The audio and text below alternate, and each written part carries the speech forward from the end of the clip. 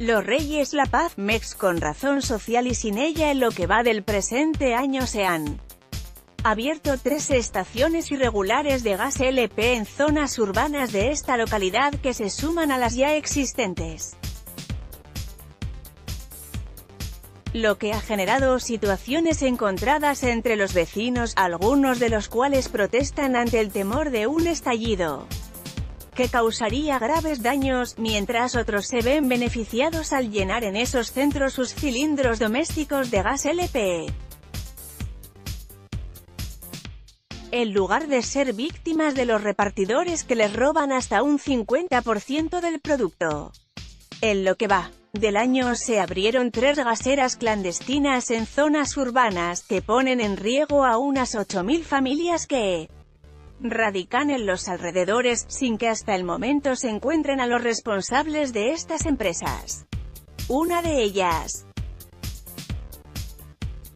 denunciaron vecinos encabezados por David Jaramillo, se encuentra en el segundo callejón de Emiliano Zapata en la cabecera municipal donde la Coordinación General de Protección Civil del Estado de México clausuró temporalmente la construcción en la que ya había un depósito llamado Salchicha, con capacidad de 5.000 litros, entre otras irregularidades la gasera se ubica cerca de la secundaria número 20 y del Kinder Tonatiu. Otra gasera clandestina se encuentra sobre la calle Prolongación de Emiliano Zapata, frente a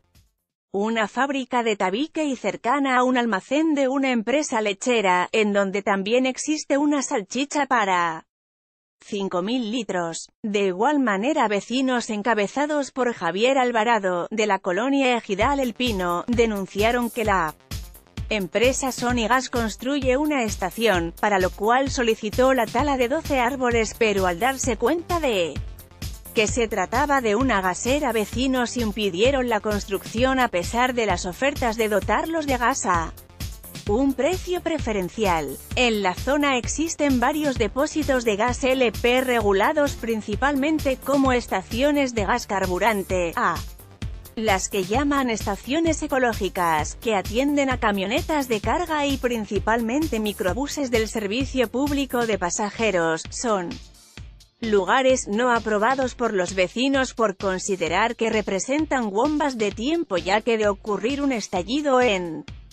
los depósitos con 5.000 litros de combustible los daños serían devastadores en las casas habitación en al menos 500 metros a la redonda, consideraron los quejosos. Indicaron que pedirán al diputado José Luis Montalvo Luna que apoye en un recorrido para verificar la situación de las gaseras, de las que nadie conoce su número exacto incluido el ayuntamiento, para verificar sus permisos y de dónde obtienen el gas que expenden.